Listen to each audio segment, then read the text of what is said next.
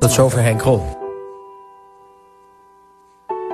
Het ging vandaag uh, vooral over Henk Krol. Uh, een voormalige stichting van Henk Krol moet op korte termijn ruim 2 ton misbruikt subsidiegeld terugbetalen aan de overheid. Maar de stichting is blut en uh, Krol is niet van plan om dat uit eigen zak terug te betalen. Het schrijft het Algemeen Dagblad allemaal vandaag. Het ministerie van Onderwijs heeft onderzoek gedaan naar die subsidiemisbruik. Er staat vast dat een bedrag van 206.833 euro, om precies te zijn, is gebruikt om openstaande rekeningen van de failliete BV's van Henk Krol mee te dichten.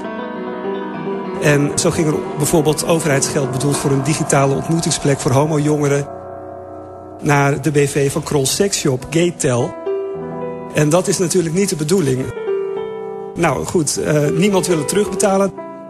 De huidige stichting die is zo goed als failliet. Kan het niet betalen en Krol, die als voorzitter uh, de subsidieaanvraag heeft ondertekend... die zegt, ik ben niet van plan om het terug te betalen.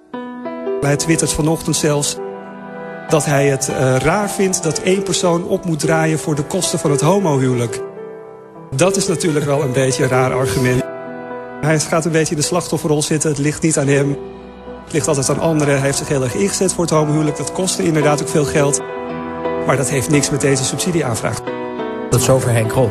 Tot zover Henk Krol. Tot zover Henk Krol. Ja.